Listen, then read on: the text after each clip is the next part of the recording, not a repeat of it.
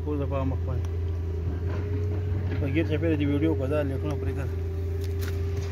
دې نه ګیر تاسو ټول کړي وګورئ ډیر هم